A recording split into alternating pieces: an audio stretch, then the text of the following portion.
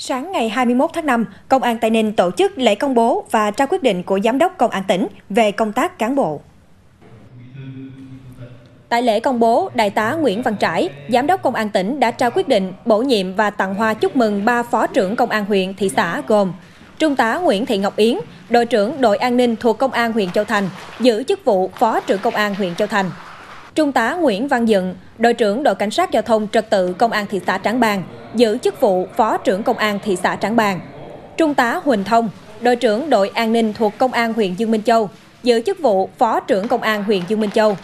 Cùng ngày, Giám đốc Công an tỉnh đã ra quyết định điều động Thượng tá Nguyễn Văn Cương, Phó trưởng Công an thị xã Trảng Bàng, đến nhận chức vụ Phó trưởng Công an huyện Bến Cầu.